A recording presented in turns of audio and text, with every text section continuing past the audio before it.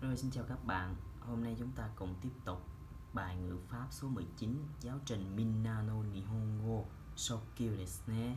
Rồi, trong bài 19 này chúng ta sẽ có những điểm ngữ pháp nào cần quan tâm và sau khi học xong thì chúng ta sẽ có những cái mục đích gì và chúng ta sẽ làm được những cái vấn đề gì nha. Rồi ví dụ như thế này nha. Rồi, à, về phần số 1 của mình thì mình sẽ học những cái động từ chia về thể ta cộng với chữ cô tổ của bài số 18 nè. À, rồi gá arimas rồi ví dụ vậy rồi động từ chi về thể ta là động từ như thế nào thì vào bài chúng ta sẽ rõ hơn nha. Rồi tiếp theo của mình đó là à, động từ chi về thể ta cộng với chữ ri động từ chi về thể ta cộng với chữ ri. Và cuối cùng là chữ simas. Ừ. rồi tiếp theo đó là gì? Đó là phần là tính từ đuôi y. Chúng ta sẽ bỏ chữ y đi chúng ta thêm chữ cư và nadimas rồi tính từ đuôi na và danh từ thì như nhau thì chúng ta chỉ cần thêm ní và narimas nha. Vậy thì học mục đích của bài này là chúng ta học để làm gì? À thì trong bài này chúng ta sau khi học xong chúng ta có thể nói gì? Chúng ta có thể nói về cái kinh nghiệm của chúng ta. Đã từng làm gì đó hay chưa? Nha ví dụ như mà cái tần số xuất hiện của nó cũng không nhiều đâu. Ví dụ như là chúng ta nói là uh, tôi đã từng ăn món nhật tôi đã từng uh, Ờ, đi campuchia tôi đã từng như thế nào kia chưa? nó là gì cái tần suất xuất hiện của cái hành động nó sẽ ít nha chứ không phải là nó thường xuyên thường xuyên thì mình không thể nói là đã từng được nha. Rồi. Rồi chúng ta còn có thể là này nó được cái sự thay đổi về tình hình của sự vật. Ví dụ như là gì? Hồi xưa thì như thế này nhưng bây giờ thì mình sẽ là dài ra rồi cao lên rồi to hơn rồi uh, trở thành bác sĩ rồi uh, lớn lên gì đó vân vân đó chính là sự thay đổi về tình hình của sự sự vật. Đấy, đấy được chưa? Rồi chúng ta kể vào bài luôn nha. Rồi uh, tiếp đầu tiên là chúng ta sẽ nói về cái thể ta là cái gì. Thì thể ta cũng giống như thể t. Thể ta là quá khứ nha. Vậy thì hồi xưa chúng ta học cách chia thể t như thế nào thì bây giờ cách chia thể ta cũng y như vậy luôn không có gì khác hết. Chỉ thay chữ ta bằng chữ t. Yeah, chỉ thay bằng chữ ta bằng chữ t. Ừ. Rồi thì động từ của mình thì gồm có 3 nhóm, nhóm 1, nhóm 2, nhóm 3 thì mình sẽ chia cái nhóm số 3 trước đơn giản và nhóm số 2 trước đơn giản và nhóm số 1 thì mình sẽ sẽ chia sau nha. Rồi, vậy thì hai nhóm mình cần nói trước đó là nhóm 2, nhóm 3 hoặc là có người sẽ chạy các bạn nhóm 3, nhóm 2 cái nào cũng được nha. Rồi, nhóm 2 là chỉ cần bỏ mát thêm tà đơn giản của nhóm T cũng vậy mà. Được chưa? Cái phần mà động từ thể T cũng vậy là chỉ cần bỏ mát thêm T thì bây giờ là gì? Bỏ mát thêm ta. Được chưa? À, vậy thì mình là gì? Tabimasu tabete. Tabemas tabeta. Đấy đơn giản vậy thôi. Nha rồi. Nemas neta. Mimas mita. À chỉ không bỏ mát bỏ mát bỏ mát thêm ta vô là nó sẽ ra động từ chỉ về thể ta. Dạ rồi suy nghĩ bạn. Rồi trong nhóm 3 của mình là danh động từ nhóm 3 chứa chữ simas. Nha cái con simas benkyo simas kaimono simas. Đúng không nha danh động từ nhóm 3 à, rồi một từ nữa đó chính là chữ kimas của chữ đến. Thì kimas của chúng ta lúc này thì chúng ta chia thành chữ kita. Bình thường cũng giống như là kite vậy đó bây giờ là kita. Đấy. vậy thì nhóm 1 là nhóm hơi phức tạp so với nhóm 2 và nhóm 3 à tại vì sao? Tại vì nó sẽ chia ra những cái trường hợp như thế này như thế này như thế này chứ nó không có đơn giản giống như uh, quy cách của nhóm 2 hoặc là uh, những cái từ riêng của nhóm 3 mà nó sẽ là như thế này. Rồi những từ mà đứng trước mát ở cái cột là imas, chimas, rimas nha. Thì mình sẽ chia thành chữ sư nhỏ ta. Đấy, ví dụ như là chữ gì? Imas thì chúng ta sẽ chia thành là ata rồi machimas chúng ta sẽ chia thành là mata rồi mochimas là, là mota rồi torimas chúng ta là tota xét, à, rồi à, tiếp theo à, chữ kikimas à, kikimas thì ở đây chúng ta chỉ có là chữ ki. Ki là chi về chữ i ta. Đấy nhá. Kikimas thì mà là kita. Kita desu ki kéo dài ra chữ này. Không đọc là ki ita mà đọc là kita desu rồi ở đây là ki. Thì ở đây là, là gi đấy. Ki thì là ta còn chữ gi thì là da. Ở dưới này là da.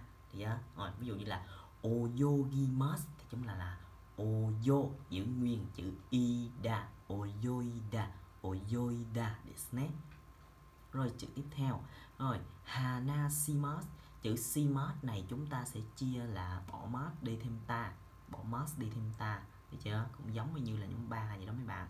Nhưng thể t và thể ta thì không cần phải phân biệt đó là động từ nhóm 3 hay động từ nhóm 1 để chúng ta chia nha.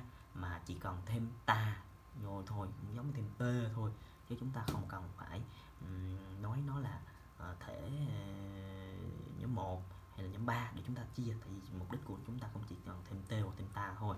Rồi tiếp theo của chúng ta đó là gì? Đó là uh, trước cái chữ trước cái cái cái cái cái, cái, cái chữ mass đó là cột mi hoặc là trước chữ mass đó là bi thì chúng ta sẽ chia thành chữ unda unda ví dụ như À, yasumimasu asonda asonda ừ. rồi trong trường hợp này chú ý một trường hợp nữa đó chính là chữ it thì là theo như cái chữ iki ki là ở đây đúng không? Đây iki thì là i i i ta. Đấy, được chưa? Nhưng mà đây là trường hợp đặc biệt của mình là ikimas đó chính là chữ ita ikimas đó là ita desne đây là trường hợp đặc biệt chỉ có một trường hợp ngoại lệ này thôi. Nên mình cũng Ờ, rất là dễ nhớ và để chúng ta uh, ghi chép vô là chúng ta nhớ cái này nha chứ nó không có nằm ở trong cái nguyên tắc của mình nha. Rồi xin các bạn. Rồi mình sẽ tóm tắt lại cái phần đó chính là cái cách chia thể t thì cũng giống như thể ta vậy đó. À cách chia thể ta cũng giống như thể t vậy đó đơn giản là gì? Chúng ta chỉ thay chữ t chữ đế. Ừ, thay t đế bằng chữ ta hoặc là đa thôi chứ không gì hết rồi đối với nhóm 2 thì các bạn chỉ cần bỏ má thêm ta. Đấy. đối với nhóm 3 thì các bạn chỉ cần uh, trong cái danh động từ si má các bạn chỉ cần bỏ má thêm chữ ta thôi. Và chữ ki má thì chúng ta sẽ thay bằng chữ kita nha. Rồi còn nhóm 1 nhóm 1 thì như thế nào? Nhóm 1 thì các bạn sẽ nhớ là gì? À, mình sẽ chia cái chữ mà trước mát đó là chữ ichiri đó là chữ ita. Ichiri đó chính là ita. Rồi chữ ki hoặc là chữ ghi thì đó là chữ y đa được chưa đa hoặc là y ta đây kỳ thì là ta còn ghi thì là đa Đấy, nha. Rồi 次 à, ni bi mi à, ni bi mi thì mình sẽ chia là un đa un đa desu. Rồi tiếp theo là về chữ si thì mình sẽ chia là là si si ta. Đấy, đó là những cái trường hợp mà à, mình à, học thuộc để mình chia thôi cho những cái từ vựng ra rồi mình cái người mình chia nó về thế ta như thế nào giống thế t chúng ta cái chia t ta thì nó nhùng rồi sau này chúng ta sang nhận ta sử dụng nha. Rồi chi các bạn. Rồi luyện tập cái chi theta như thế nào. Trong này là nó sẽ có cái bài từ vựng. Từ vựng nằm trong cái bài số 19 này. Thì gồm có những chữ như là uh, nobody must rồi sojishimasu rồi ren kure must gì đó vân vân nha thì ví dụ như vậy, thì các bạn sẽ chia những cái từ này về thể ta như thế nào? Ví dụ như là chữ noborimos là nhóm 1 là nobota desne rồi chữ số 2 là sojishimos là không cần quan tâm nó là động từ. Nhóm 1 hay là nhóm 3 chúng ta chỉ cần bỏ mát thêm ta đó là soji sta desne renshu sta desne kuremas thì là kureta desne rồi tsurete kimas là tsurete kita đây là động từ ghép nhóm 3 nha chữ quan trọng là chữ kimasu này là nhóm 3 thì do động từ ghép mình hình thành cũng là nhóm 3 luôn đó là tsurete きたですね。rồi 紹介したrồi説明したrồi 止まりますlà 止ま止まったですね。rồi 選択しますなら選択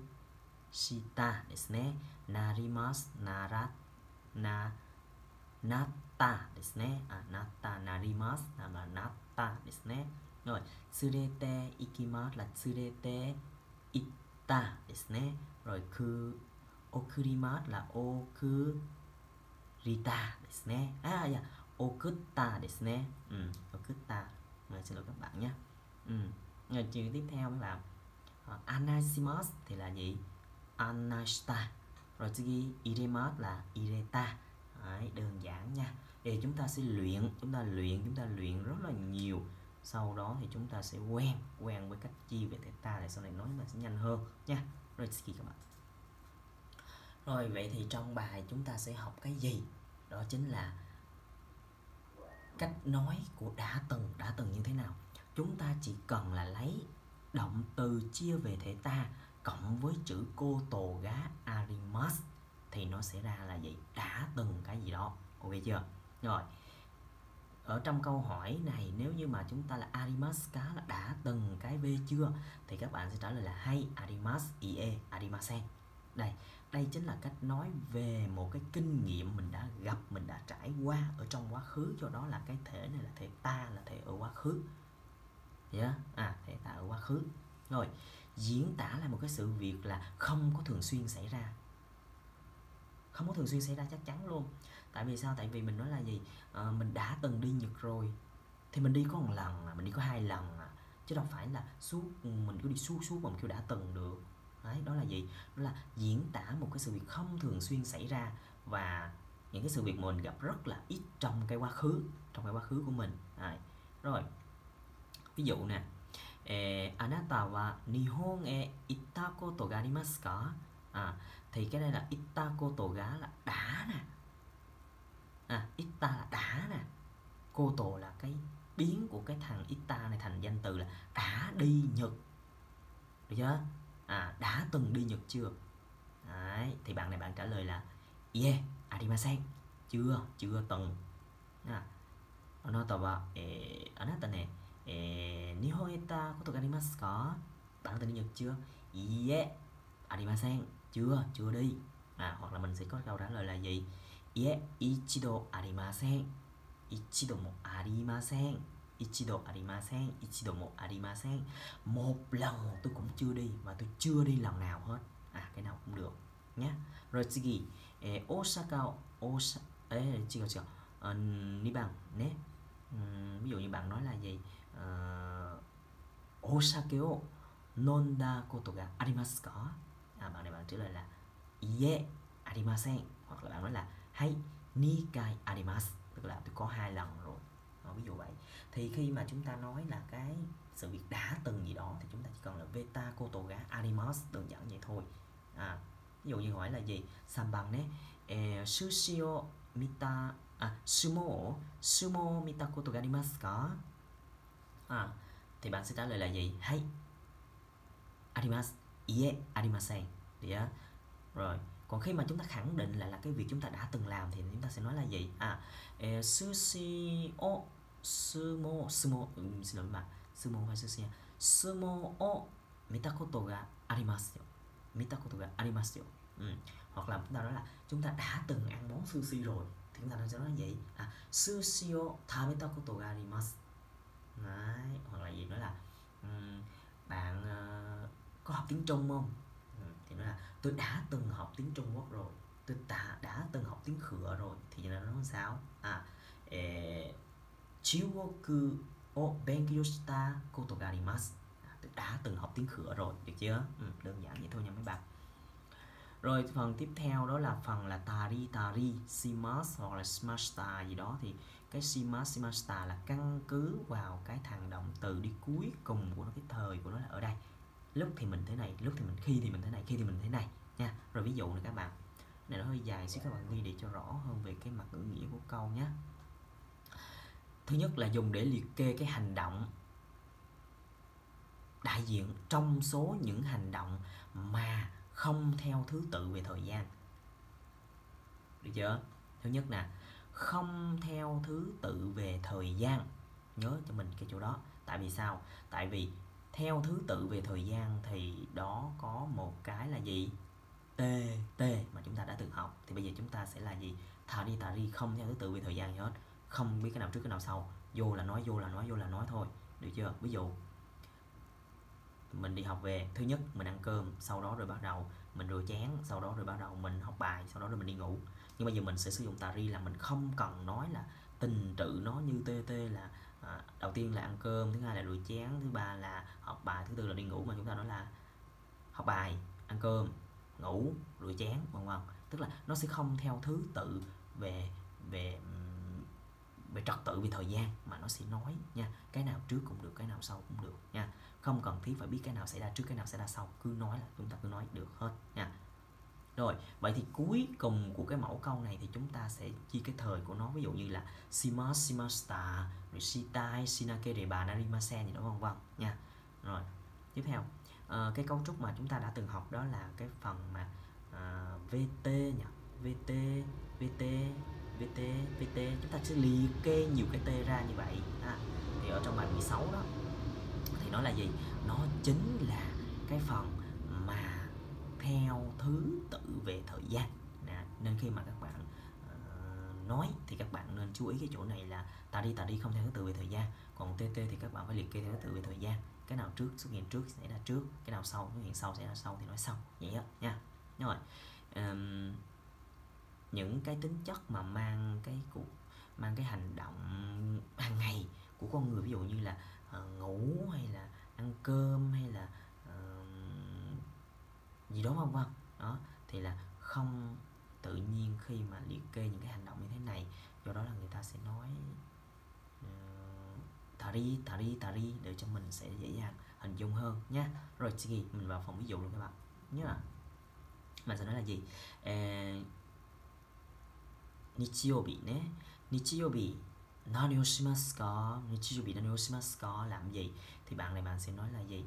Um, Nichiyobi soji study, à, sentaku sentaku study, shimasu. Tức là bạn sẽ soji bạn sẽ sentaku mà không biết là bạn làm bạn dọn nhà dọn dẹp trước hay là bạn giặt đồ.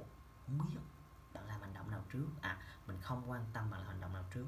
Mà mình sẽ nói là à, uh, soji study rồi sentaku study rồi bắt đầu là gì?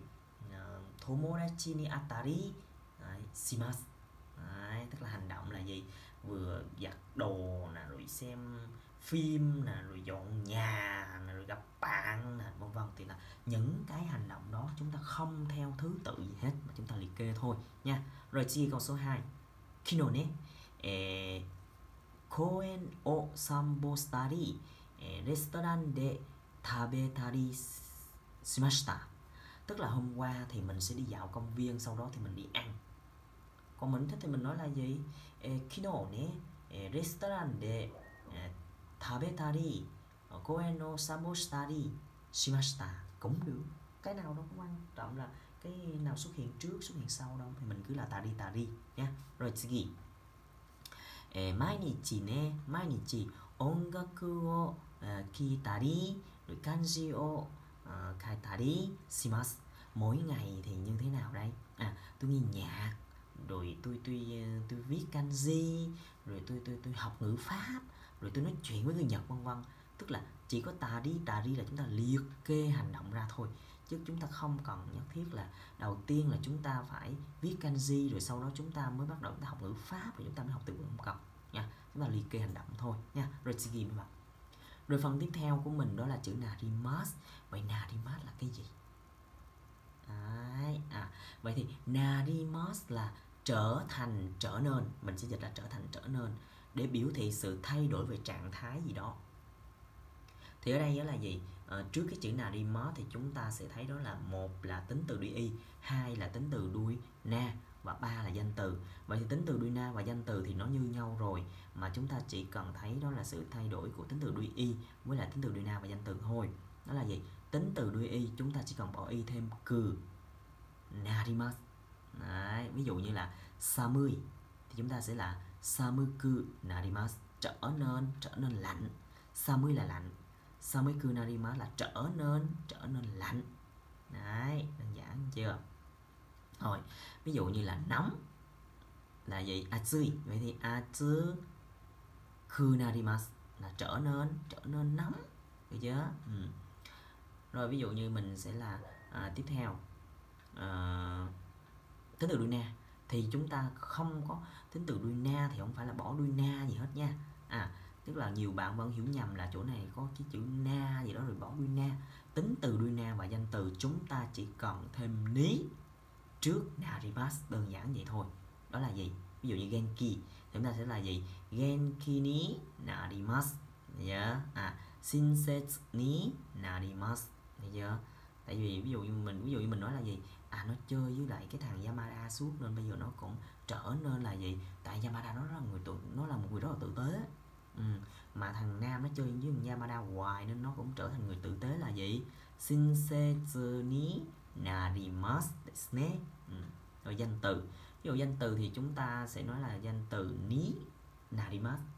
Ví dụ như mình nói mình là bác sĩ thì sao ta? Hồi xưa thì tôi còn con nít bây giờ bây giờ trở thành bác sĩ rồi. À, vậy thì là gì?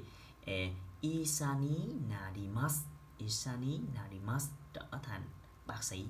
Đấy, được chưa? Đơn giản vậy thôi nha. Rồi tiếp theo mình sẽ đi vào những cái ví dụ ví dụ như thế này nha. E, watashi wa ne e, niyu san sai chữ này là chữ sai chữ tuổi. Niyu san sai ni narimashita khi mà bạn hỏi thì nói ừ thì ừ, năm nay mày nhiêu tuổi thì, thì tao được 23 tuổi rồi. Trở thành trở nên 23 tuổi rồi. Ừ, dịch nó hơi nó hơi hơi hơi khó hiểu. Chúng ta nói là được 23 tuổi rồi. Niju sansai ni narimasu Niju sansai ni narimashita nhé. Ừ, kiểu vậy á. Rồi chị gì nhé. Um, câu số 2 mấy bạn. Mai nichi nihongo o benkyou shimasu kara ね mỗi ngày thì sau đây? Nihongo Benkyo shimasu là vì là học tiếng Nhật nên như thế nào? Nihongo ga jozu ni narimasu. Đấy, thì tiếng Nhật sẽ trở nên giỏi. Yeah, chỉ trở nên giỏi mỗi ngày mà. Nihongo ga jozu thì cái chữ đứng cạnh chữ ní đó chính là chữ jozu vậy thì jozu là tính từ đuôi na do đó chúng ta sẽ là Nihongo ga jozu ni narimasu. Yeah. à rồi gì câu số 3 nha. Um, amaimono à, cái đồ ngọt thì như thế nào? Cái đồ ngọt ấy. Taksan tabemasta kara. Tại vì cái bạn này bạn đã vì bạn đã ăn rất là nhiều cái đồ ngọt nè kẹo nè bánh nè. Đấy, thì như thế nào đây? Haga waruku narimashita. Ha là cái răng nè. Warui warui bỏ chữ y đi là warui là cái răng của mình không được không không được đẹp á kiểu như bị siết bị đồ á thì nó sẽ trở nên là vừa ăn quá nhiều thì đương nhiên là vậy. Uhm, tối ngủ đánh răng thì đương nhiên nó phải bị siết bị đồ nè thì ở đây là gì narimashita né. Ừ. à, nó sẽ bị siết bị đồ đó thì đương nhiên người ta sẽ nói là à, nó sẽ là bị bị bị cái vấn đề là xấu răng nó gớm lên thì đương nhiên đó là haga waruku narimashita nhé ừ. rồi. Vậy thì uh, cái phần narimas này thì chủ yếu cho mình là dịch cho mình là gì? Trở thành trở nên. Cái thứ nhất. Cái thứ hai là gì? Tính từ đuôi y thì chúng ta chỉ cần bỏ y thêm cừ narimas tính từ đuôi na và danh từ thì chúng ta thêm ní narimas ví dụ như là à, ông thầy ông hỏi là um, bây giờ sẽ như thế nào? À nghi vấn từ của nó là do narimasu có do narimasu có do narimashita có ừ, ví dụ vậy. Thì sẽ là gì? Isha ni narimasu isha ni narimashita hay đó không vâng nha. Thì mình sẽ có cái phần đó nữa đó chính là nghi vấn từ. Đó là do desu ne ừ.